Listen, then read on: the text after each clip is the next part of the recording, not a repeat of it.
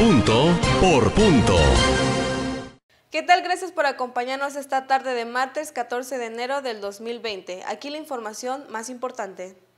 Fue separado del cargo el comandante estatal Gamaliel González para deslindar responsabilidad en el caso Cuautla, del cual aclaró el secretario de Gobierno que no se trató de un secuestro. Ante los hechos, la Comisión Estatal de Seguridad dio vista al área de asuntos internos a fin de realizar las investigaciones y el análisis de la información que permita determinar el nivel de responsabilidad de quienes realizaron una intervención fuera de la ley y que deriva en el detrimento de la credibilidad y confianza en las autoridades encargadas de garantizar la seguridad ciudadana.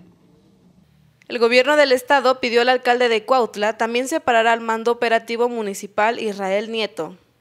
Protestan vecinos de la colonia Antonio Barona en Cuernavaca por falta de agua. voy empezando. Si nadie lo conocía, nadie lo conocía hasta ahorita. Voy empezando. ¿Y quién es? El delegado y nadie lo conocía hasta ahorita.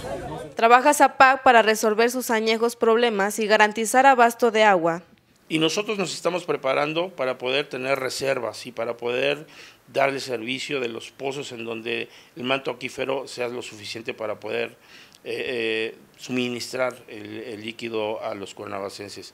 Yo aprovecho tu programa para decirles que seguimos trabajando para que Cuernavaca no se quede o sea menor el impacto de la temporada de estiaje. Sin embargo, sí nos va a impactar, eso es un hecho, nos va a impactar.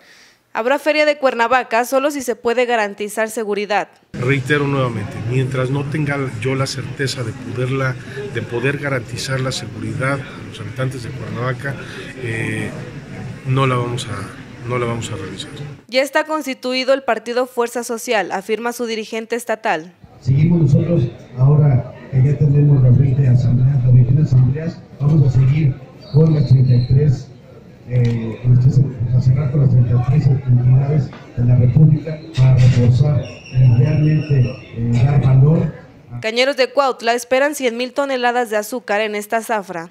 Comentar que Flor de Caña está trabajando arduamente con su equipo para dar un buen, una buena atención en campo y en oficina a todos los productores, no tan solo de flor de caña, hasta los que no son de flor de caña. Denunciará alcalde de Huitzilac a vecinos que lo acusaron de estar vinculado a la delincuencia. Los hechos que nos imputa eh, Ruizel Velázquez son totalmente falsos. Ahí habla de que nosotros, de que su servidor y los compañeros estamos coludidos con delincuencia organizada. Es un tema totalmente falso. Se reordenará el comercio semifijo del mercado de Jojutla tras accidente.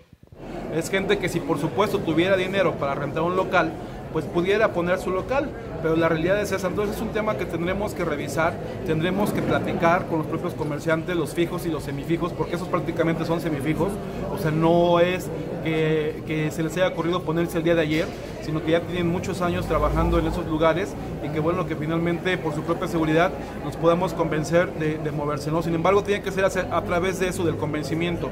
Andrea Sotelo se despide de ustedes, hasta la próxima. Punto por punto.